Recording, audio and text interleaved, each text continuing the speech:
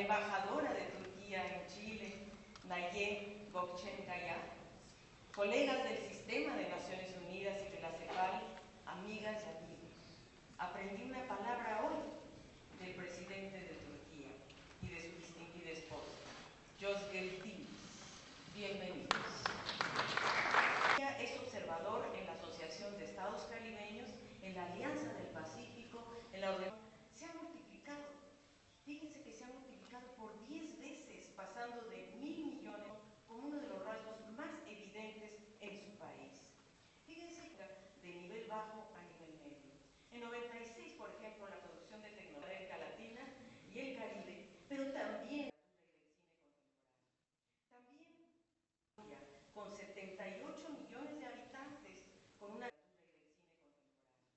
también la volatilidad cambiaria por efectos de políticas monetarias muy diferentes entre Estados Unidos. presidente y su delegación en Chile, acompañado por altas autoridades en mayo del presente año.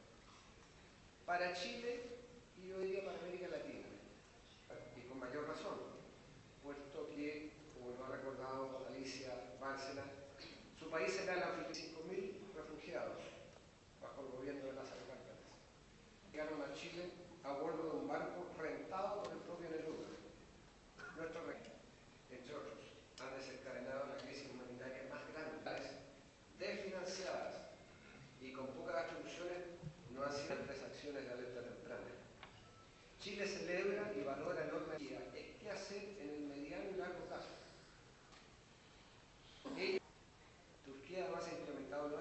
normativas para asegurar que los refugiados accedan a la protección legal, no solo para Turquía. Todos tenemos que aportar para solucionar los problemas europeos, sino mundial. Y ello en un contexto de dificultades. Todos tenemos que aportar para solucionar los problemas. Decisión en el menor plazo posible y también. 23-24 Mayıs 2016 tarihlerinde İstanbul'da Birleşmiş Milletler Dünya İnsani Zirvesi'ne ev sahipliği yapıyor. Ve bugün Sayın Başkan'la da bunu konuştuk. Bu zirve için ülkemizin tercih edilmesi, yürüttüğümüz insani yardım çalışmalarının dünya çapında kabul görmüş olmasının bir sonucudur.